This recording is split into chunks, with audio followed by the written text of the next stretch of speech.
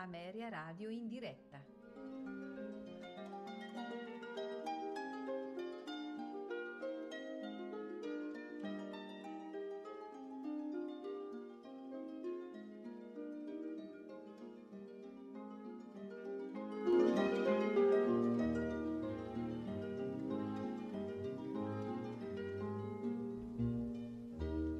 Tra poco, Ameria Radio in diretta.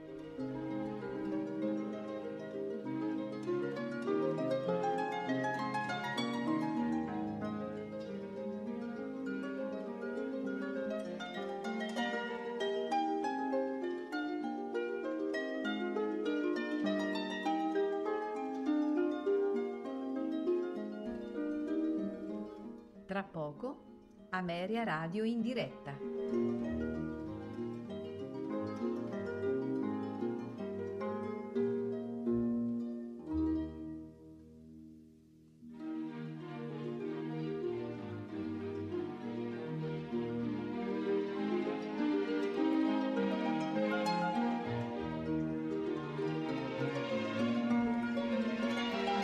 Tra poco, Ameria Radio in diretta.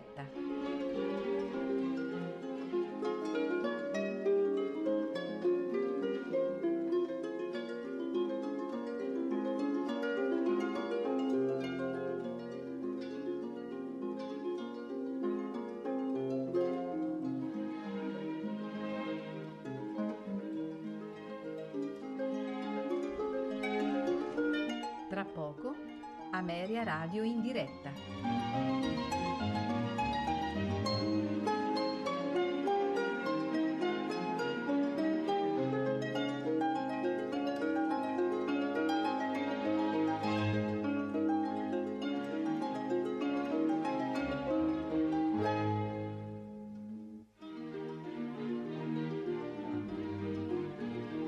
Tra poco, Ameria Radio in diretta.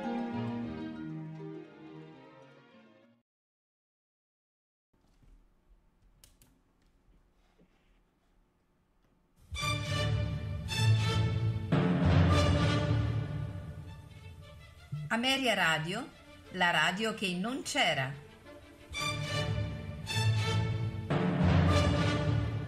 Quando ero fatto del duca di Norfolk, ero sottile, sottile, sottile, ero un miraggio vago, leggero, gentile, gentile, gentile. Ameria Radio presenta Tutto nel mondo è burla, stasera all'opera, con Luisella Franchini, Valerio Lopane, Paolo Pellegrini e Massimiliano Samsa.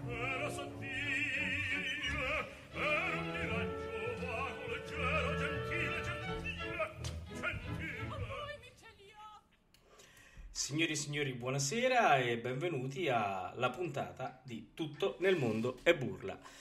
È inutile dire tanto per chi è collegato eh, già sa chi abbiamo con noi, ma aspettate, ve lo presento come duopo eh, e, e dico solamente che è un grande piacere averla con noi e- ed è una, una gioia soprattutto perché sono circa due anni che eh, inseguiamo questo personaggio a cui eh, veramente... eh, Veramente eh, siamo corsi dietro e devo dire che sono contento di averla raggiunta. Comunque, questa sera chi abbiamo con noi? Allora, pre- eh, presentiamo le signore.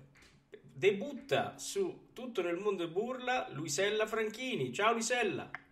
Ciao, buonasera a tutti e soprattutto alla signora Dragoni. Poi abbiamo con noi eccezionalmente questa sera perché c'è qualcuno che ha, come si dice dalle nostre parti, un pochino fagliato, cioè praticamente eh, sta a cena fuori, quindi non può stare con noi per impegni presi. Eh, c'è Massimiliano, sì, Massimiliano Sanza, vedete, vedete, vedete come sono messo?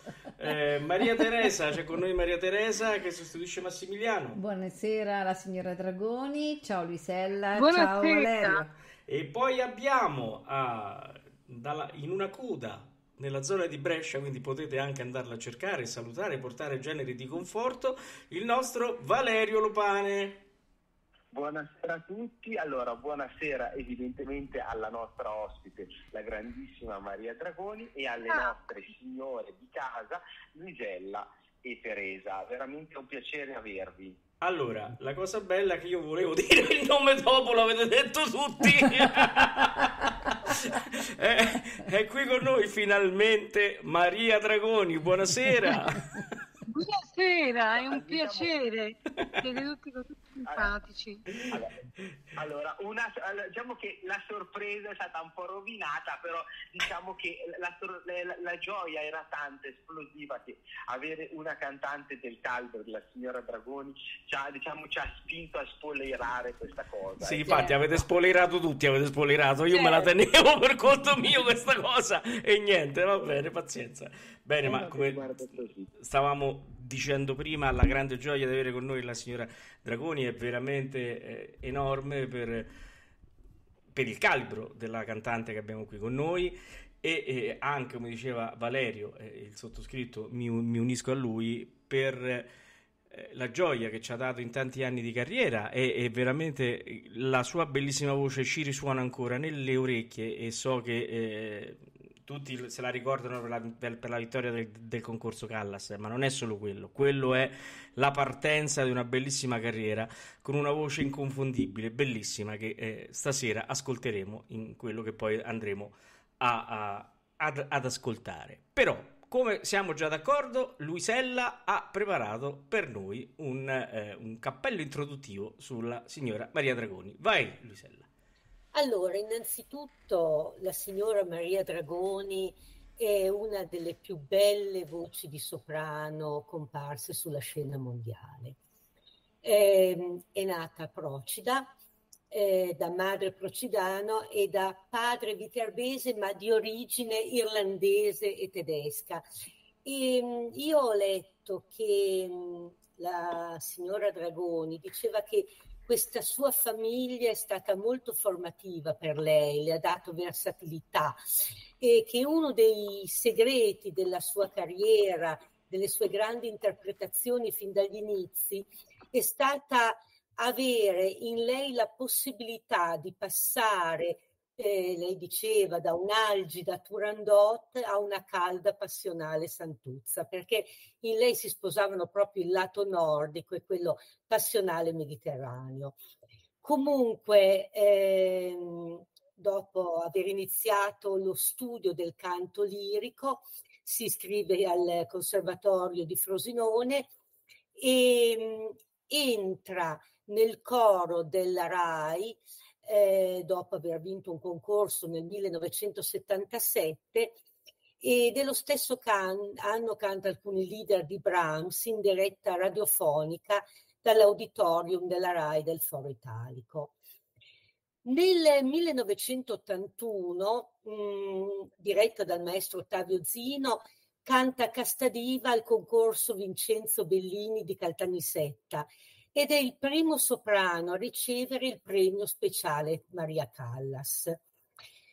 La, mh, diciamo, il vero, grande, eh, glorioso inizio della sua carriera di soprano ha una data, è l'11 novembre 1983, quando Maria Dragoni vince in Eurovisione dall'Auditorium Rai del Foro Italico il concorso Maria Callas, dove presenta arie tratte dal Pirata e dalla Norma.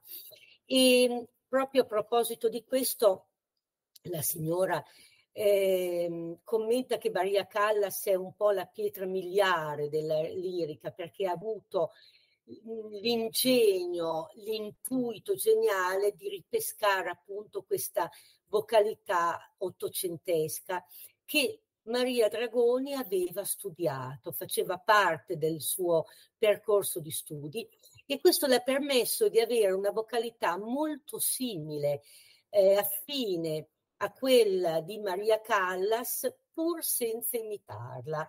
Infatti dice lei stessa che eh, questo le venne riconosciuto quando vinse il concorso da Giulietta Simeonato, grande amica e grande collega di Maria Callas. Eh, debutta poi eh, in un'opera completa al Teatro Pergolesi di Iesi, nel Pirata di Bellini con il ruolo di Imogine e poi l'anno dopo al San Carlo di Napoli, dove prosegue le recite di una sonnambula che era stata iniziata da Edita Gruberova. E qui la signora Maria Dragoni ricorda con particolare emozione questa recita, dicendo fui veramente sorpresa dall'enorme successo che ebbi un anno dopo il debutto con la sonnambula, quando questo pubblico inizia ad applaudire senza voler mai smettere, quasi impedendomi di, di riprendere il canto.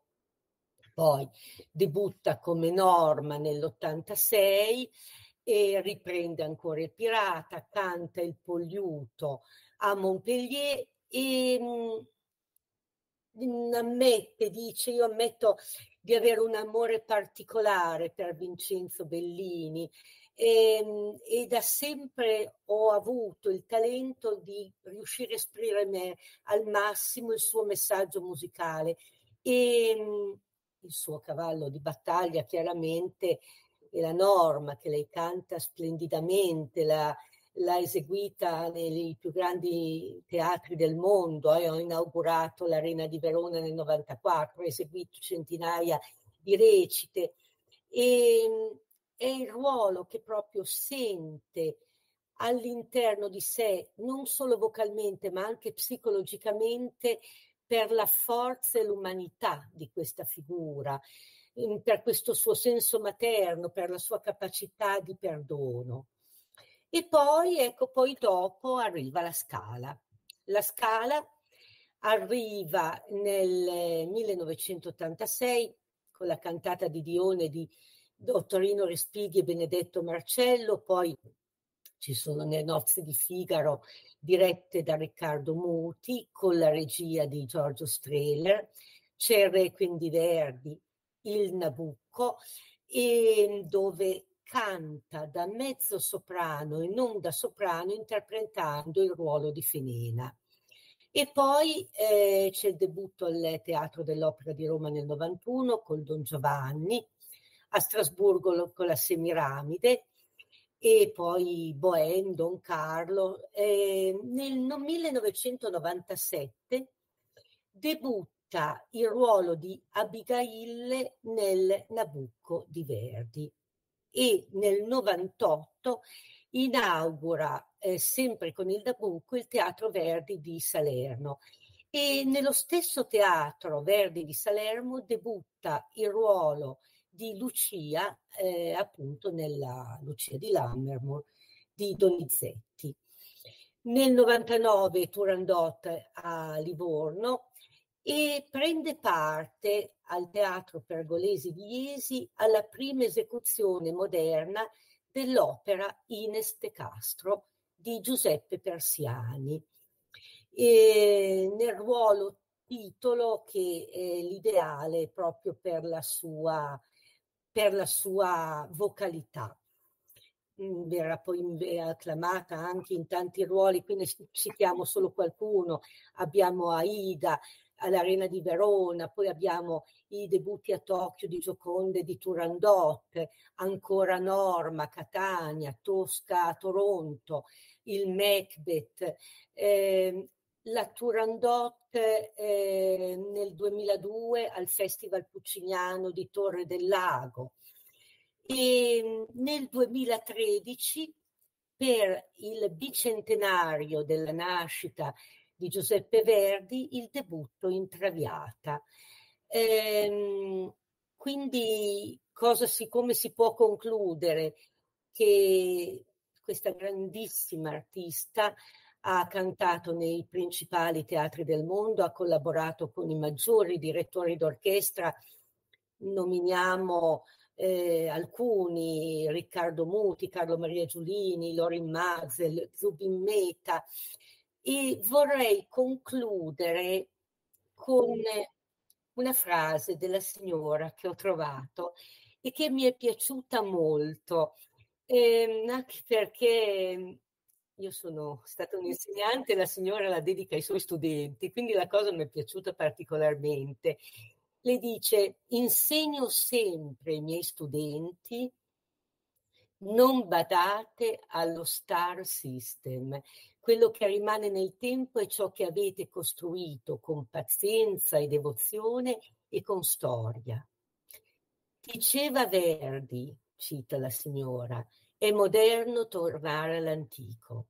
Io sono soddisfatta e convinta di tutto quello che ho fatto e non ho mai voluto assoggettarmi appunto allo star system, perché se lo si fa si rischia di essere manipolati. Quindi io la trovo una pra- frase bellissima che eh, ci dà il senso non solo della grande artista, ma anche della grande donna, della umanità e del senso di coscienza di una grande persona. Grazie mille di questa bellissima descrizione. Eh? Grazie a lei. La Signora. nostra professoressa, come diciamo io e, e Valerio, non ci delude mai, quindi ha lavorato. Infatti, È infatti, vero Valerio? No, Eh, eh. no, belle queste parole che ha pensato il fatto che io ci tengo soprattutto alla spiritualità dell'arte. Certo. Canta parecchie volte, ma non è tanto per dire, è proprio un fatto che eh, la musica dovrebbe aiutare a migliorare l'animo, a comunicare qualcosa di miracoloso. Quindi questo è il mio messaggio, di poter eh, mh, comunicare ai giovani l'importanza dell'umanità, della spiritualità, per la quale si eviterebbero pure tante guerre, tante cose cattive.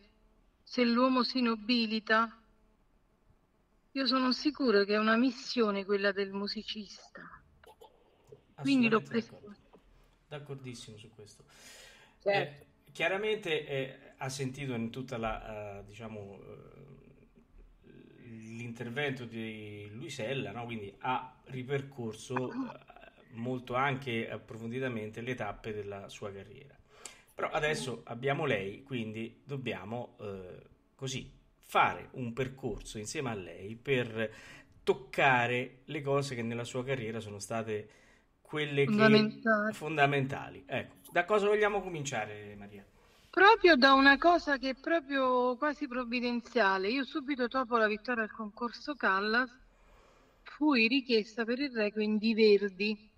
È la prima cosa che ho fatto al Carlo Felice di Genova e questa- questo capolavoro che è sempre così moderno, ancora ora proprio manifesta tutto il dolore dell'uomo, dell'umanità. E secondo me è stato fondamentale. Nella mia carriera me l'hanno sempre chiesto questo lavoro e a me piace tantissimo, devo dire. Quindi ho cominciato, diciamo, bene perché ho cominciato con una cosa spirituale come piace a me. Questo voglio dire. Poi ho continuato ovviamente con le opere e io ho una predilezione per Verdi, ma soprattutto per Bellini perché è il malinconico. Io sono anche una persona un po' malinconica per natura, fin da bambina sono sempre stata. Tant'è vero che mamma mi tolse dalla scuola perché la prima maestra si chiamava Ironia della sorte Maria Di Stefano. Incredibile. Tutta a me Incredibile. E allora diceva questa bambina è malinconica, è malinconica. Allora mamma mi ha tolto dalla scuola, siccome anche lei è una maestra, e mi ha fatto studiare con lei perché dice timida, è malinconica, una introversa, ecco. E quindi secondo me in Bellini mi ci rivedo perché è come fosse un cigno lunare, diciamo, una dimensione molto particolare. Assolutamente sì. Però abbiamo toccato il Requiem. Lo vogliamo ascoltare un pezzetto? Facciamo questo regalo ai nostri radioascoltatori. Eh, ascoltiamo assolutamente, Paolo, assolutamente, certo. vero Valerio? Ascoltiamo il Requiem Aeternam dal Requiem di, di Giuseppe Verdi. E poi Valerio, quando rientriamo è tutta tua. Va bene? Grazie, grazie, grazie. Andiamo.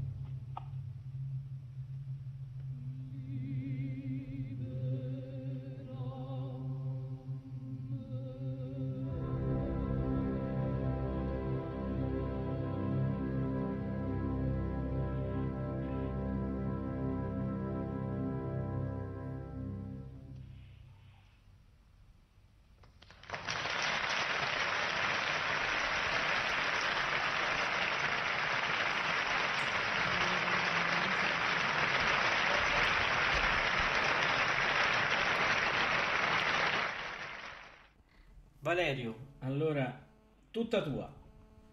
Allora, innanzitutto mh, io volevo complimentarmi per questa carriera veramente incredibile, per la vastità del repertorio, per la profondità del canto. La signora parlava di una spiritualità, io ho avuto la fortuna di sentirla in teatro e questa cosa la si percepiva. L'energia quasi magnetica che veniva data da Maria era qualcosa di, di grande e eh, posso dirlo veramente con, con, grande stima e affetto e riconoscimento. È sempre stata una cantante onesta, nel senso che quello che faceva in scena lo si percepiva come profondamente e autenticamente sentito e penso che sia uno dei più grandi pregi al di là del, dell'accento giusto, della voce importante, dell'agilità ben fatta, dell'appunto ben preso. È proprio la, questo approccio profondo, autentico. E di questo ne siamo tutti gratissimi. In una stagione come l'attuale, in cui questo elemento vero sorgiva, autentico, tante volte viene messo in secondo piano, invece con Maria c'era, era sempre evidentissimo e di questo veramente di cuore la ringrazio. Ma grazie a lei che mi dice queste belle parole. E io sono molto contenta perché è proprio questo il mio intento, di comunicare una profondità, una, diciamo, un amore, diciamo, un amore, un'umanità che scaturisce da questo tipo di musica dove è inutile fare la diva, la co- è, è, Verdi che parla. E ancora oggi il dolore che si sente in questo requiem, che è tangibile in questo momento tremendo di guerre, non è mai stato sempre così moderno. Perciò dico è importante servire così gli, gli autori, i compositori. Questo è il mio... Ma ci sembra, questo veramente si sentiva e questa è diciamo la parte emotiva importante. Dall'altra parte, e questo lo dico soprattutto a lei ma anche ai nostri ascoltatori, la sua qualità e l'importanza, per così dire, storica della sua voce. Sicuramente un, un contatto con, con, Maria Callas è evidente, è forte, è riscontrabile nella vastità del repertorio, per certi versi il fatto di avere vinto il concorso Callas con due pagine tipicamente callastiane, quali sono quelle di Norma e del Pirata, e sono assolutamente un suggello il fatto di aver fatto poi altre opere tipicamente Callas, come può essere Norma e Sonnambula in contemporanea, o ancora avere fatto Gioconda, avere avuto questo repertorio che sapeva alternare Turandot sonnambula a, a Gioconda e poi ancora Norma e in questo sicuramente c'è. Ma quello che a me preme anche evidenziare è un tratto caratteristico della voce di Maria Dragoni, che è anche l'italianità, che secondo me è qualcosa che va ugualmente evidenziato.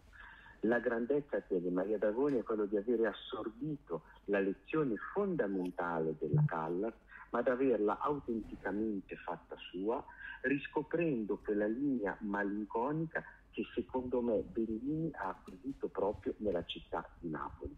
Quindi ho sempre visto questa continuità tra la formazione l'antichissima e gloriosa scuola settecentesca napoletana che hai rivissuta in un clima di rielaborazione musicale belliniana e riportata con questa vivacità sorgiva, malinconica, dolente, ma viva napoletana di, di, Maria Dragoni. Quindi penso che la continuità che ci può essere tra la sua sonnambula e la sua norma e ancora eh, il suo pirata, dolente, lirico, disperato e, e ancora vitale, è veramente che qualcosa di unico e soltanto suo. E veramente è, è stata una cantante eccezionale e lo dico davvero con, con onestà.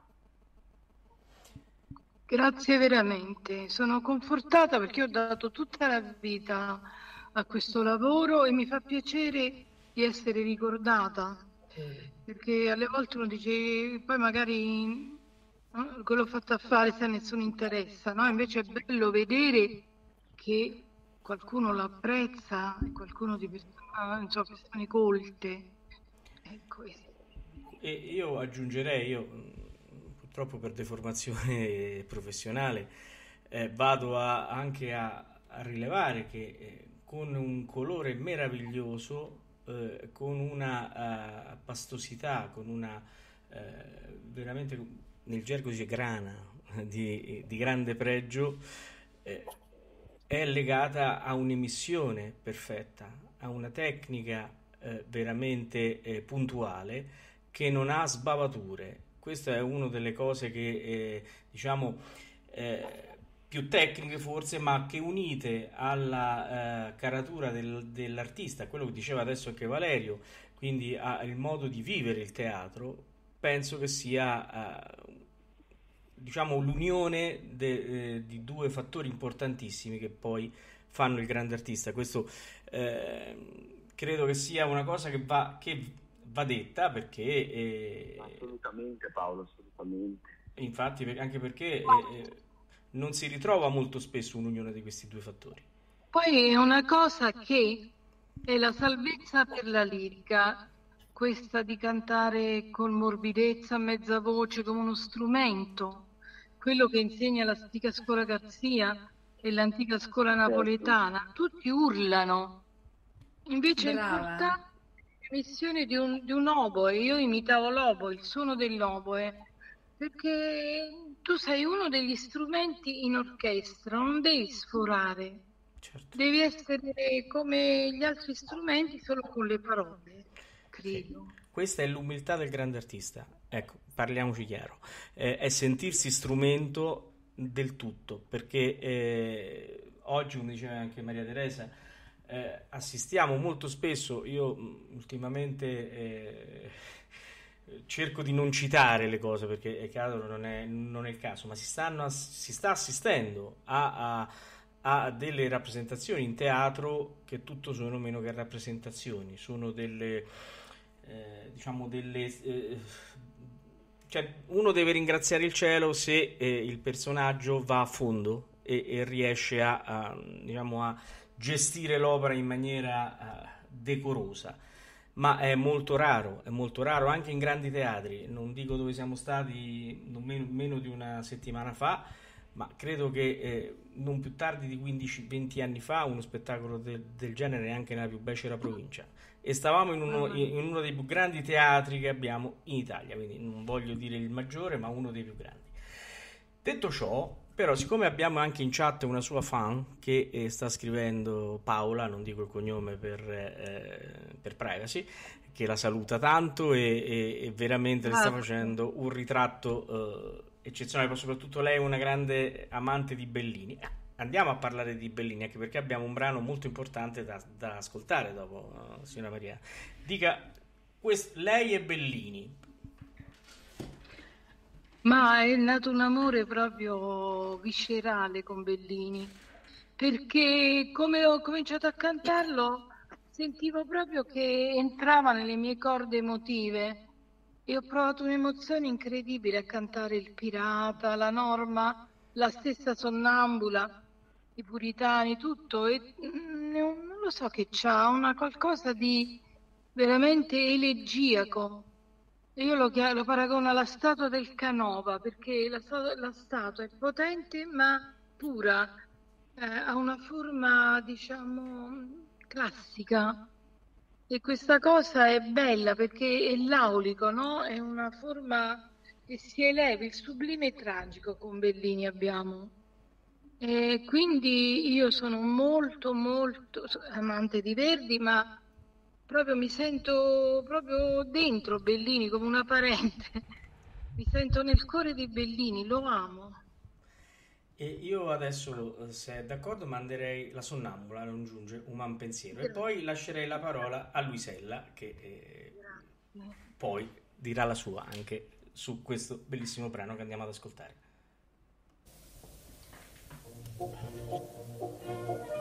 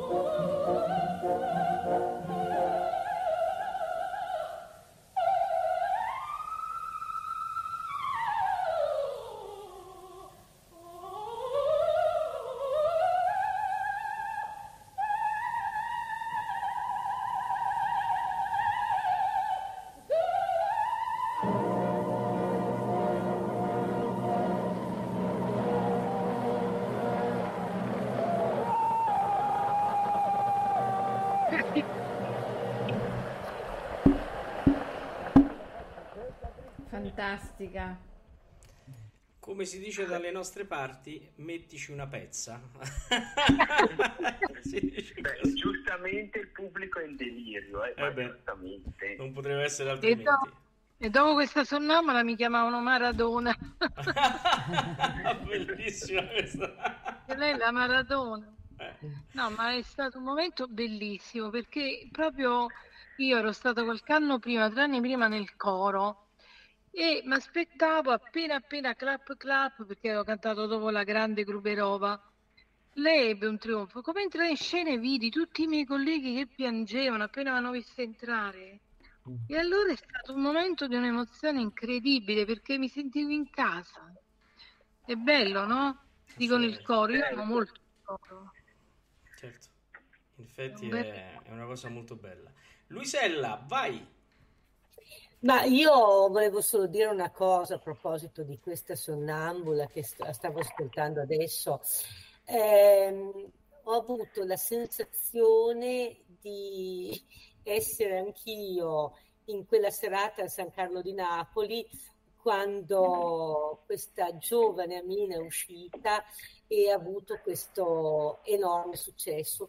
E ci credo veramente che il pubblico non smetteva di, eh, di applaudire, non, non la lasciava continuare perché quello che perlomeno io ho percepito è stato mh, questo candore lunare che la signora prima attribuiva al Cinio Bellini, no?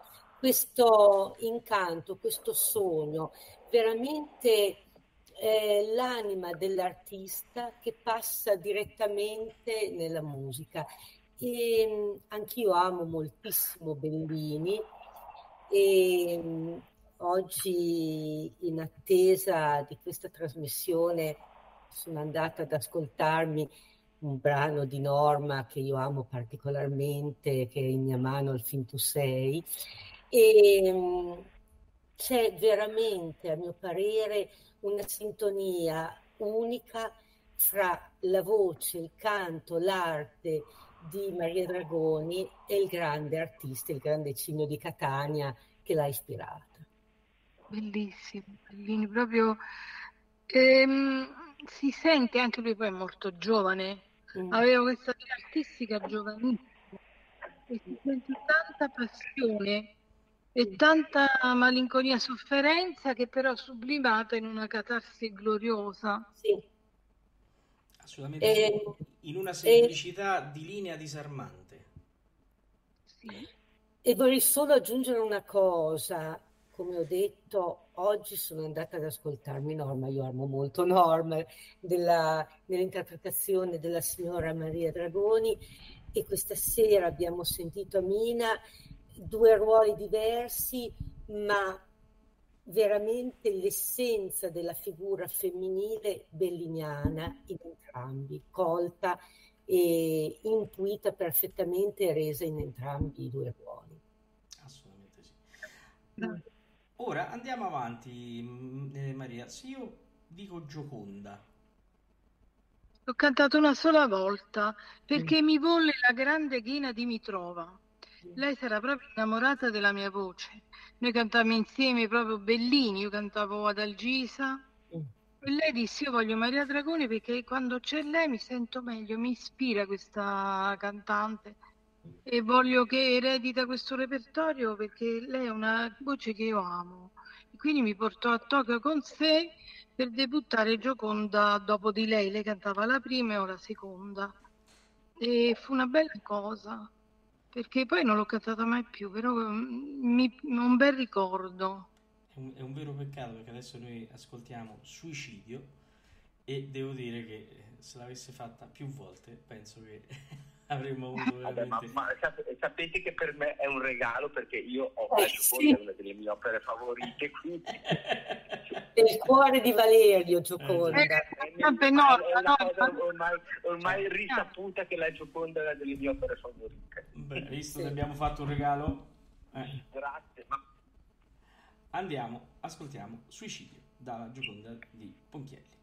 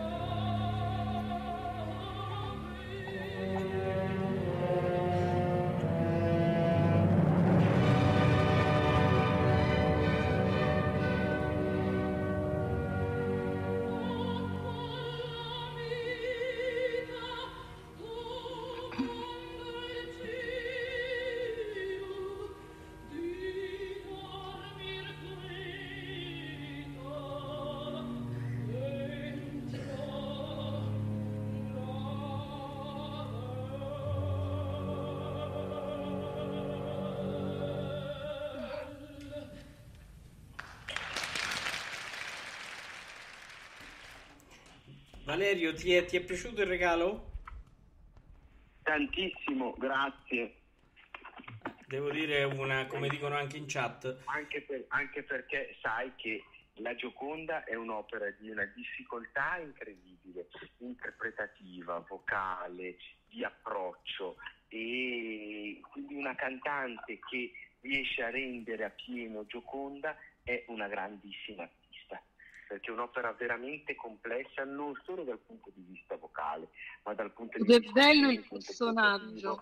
sì, sì, assolutamente sì, è bello il personaggio e, e gli accenti, come diceva anche Valerio, no? Gli accenti, la- il Certo. colore che viene dato da lei a questo personaggio sono veramente in- ineguagliabili, sono molto Ma molto... Anche perché è quello che, ehm, ed è veramente la qualità tipica di Maria Dragoni, è anche che la rende veramente unica in questo personaggio, una spiccata femminilità. Cioè si percepisce in questa morbidezza di missione una dolcezza femminile che trapassa anche semplicemente dall'ascolto, che rende veramente anche i personaggi che sono quasi transumani, pensa a, a Norma, gli dà un risvolto materno, femminile, eccezionale e ugualmente è l'improvvisa sorpresa che dietro magari alla scorta di alcuni personaggi, la durezza esteriore di Gioconda, c'è un'interiorità dolcissima, quasi fragile verrebbe da dire, benché sia una donna profondamente temperamentosa e questo è qualcosa di, di straordinario legato al canto di Maria Dragoni. Assolutamente Grazie. sì. Assolutamente sì. Adesso, eh, allora, innanzitutto le devo portare i saluti di Guido da Milano, che la saluta molto Grazie, caramente. grazie, grazie, lo so chi è. È Guido Villa, eh? Eh, sì, ecco, no, io, Un eh, carissimo, un carissimo logionista, ah, molto molto caro. Sì, e devo dire che è Grazie. stato molto caro anche a salutarla qui in diretta. Io oh, gli avevo promesso che le mandavo i suoi saluti. Allora, adesso qui ci chiedono eh, anche, eh, parliamo un po' di questo Ines De Castro. È un'opera scritta apposta per i mezzi di Maria Malibran, da un minore, perché Persiani non era Bellini, però impiegò tutte le sue energie per fare quest'opera, per dare un ricordo di cosa potesse essere questa vocalità di tre ottave impervia. Mm. E hanno pensato di affidarla a me, i 60 critici increduli sono venuti perché mm, non è facile poter fare un'opera così particolare se non hai le regole di questo stile Garcia, della morbidezza. E quindi sono contenta dell'esito perché fu molto bello anche in disco. Questo io penso che sia stata una bella cosa della mia carriera. Assolutamente sì, e adesso noi ne faremo partecipi i nostri radioascoltatori. Allora, purtroppo il tempo è tiranno, siamo arrivati alla, alla fine della nostra trasmissione. Eh, e quindi prima di concludere eh, e- beh, e ascolteremo ovviamente eh, l'aria finale eh, da Ines- dall'opera Ines De Castro, atto terzo, devo dire una novità anche per me, non l'ho mai ascoltata. Eh, comunque la nostra promessa è questa, che nel mese di novembre Ameria Radio eh, manderà nella- nell'opera della domenica sera alle ore 21, quindi seguite il palinsesto su www.ameriaradio.com, una norma cantata da Maria Dragoni, quindi questo sicuramente Oh, così. che bello. Eh, faremo questo. Poi, sono i del concorso Callas a novembre. esatto, quindi noi adesso, eh, Maria Dragoni non lo sa, ma eh, quando si viene ad Ameria Radio non ci si accorge che ci si mette il braccialetto elettronico. Quindi il braccialetto elettronico ogni tanto suona e Maria Dragoni a novembre la richiameremo per parlare del concorso Callas, di tutta quella parte di carriera che stasera non abbiamo potuto affrontare perché il tempo è tiranno. Ma sono convinto che Maria Dragoni starà molto spesso con noi perché una volta presa non si lascia. È stato un piacere. Eh, Anche per noi. Allora, io è per- veramente un piacere nostro. e infatti, io intanto la ringrazio per questa prima serata, ha sentito prima Grazie, serata, grazie. quindi lei ormai è a casa con noi e lo diciamo a tutti i nostri radioascoltatori che saranno contentissimi di averla eh, con noi per tante volte, quindi si prepari che il braccialetto vibrerà in continuazione. Ormai l'ho presa e non la lascio. E quindi io intanto ringrazio eh, ovviamente Maria Dragoni per la cordialità e per la gentilezza che ha avuto di stare con noi, Luisella Franchini che ha debuttato in maniera eccelsa questa sera. Grazie a voi, a tutti voi, in particolare alla signora. A Maria Teresa che ci ha, ci ha fatto compagnia, ha fatto da spettatrice. ma Io farò domande la prossima volta sull'aspetto tecnico, mi interessa come pianista, accompagnatrice di cantanti ecco e fatto. quindi ne sento tanti. Ecco, Tanti e tante. lasciamo E perdere. quindi faremo due chiacchiere le prossime volte, signora. Grazie. È stato per Grazie me mille. un grande piacere e un grande onore. Salutiamo Alvin Valerio, che qui bisogna ricordarsi che tu sei Alvin, eh? Allora, Valerio? grazie. Valerio, ci sei? È fuggito? No. Valerio? Valerio? Ah, eccola siamo ragazzi, No. scusate, Ah, ma è non ci sono, non ci sono. No, ti stavamo Benissimo, salutando, dico scusate. salutiamo Alvin No, Valerio. no, ma io, io aspettavo che mi chiamassi, scusami. Ecco. Allora, guarda, veramente un grazie di cuore a Maria, è stato Grazie, un piacere e per me. veramente un... Io avevo con lei un debito di, di riconoscimento e di affetto e questa sera mi ha fatto piacere comunque condividere questo perché eh, quando una cantante dà e dà tanto è anche giusto che noi del pubblico che ne beneficiamo la ringraziamo veramente per quello che dà. Certo. Quindi penso che sia giusto. Cioè, Quindi veramente grazie, grazie a tutti, eh, complimenti per il debutto delle nu- due nostre nuove figure, Luisa e Teresa, grazie di essere qua accanto a noi e veramente a prestissimo e buona serata a tutto il nostro pubblico. Bene, allora eh, andiamo ad ascoltare l'aria finale. Buonasera. Un un grande abbraccio a Maria Dragoni, la ringraziamo ancora, ma eh, come ribadisco ci vediamo a novembre. Eh, allora adesso eh, mandiamo eh, l'aria finale del terzo atto di Ines De Castro, dell'opera Ines De Castro. Ascoltiamola.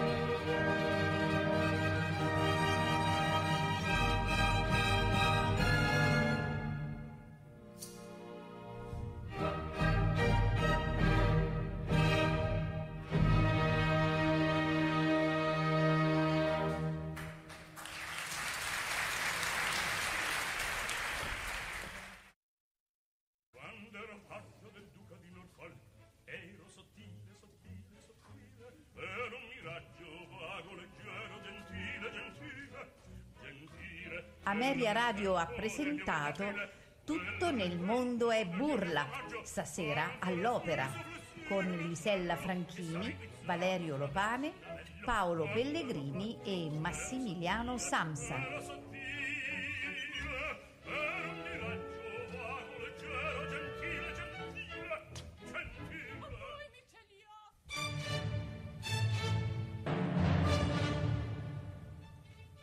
Ameria Radio, la radio che non c'era.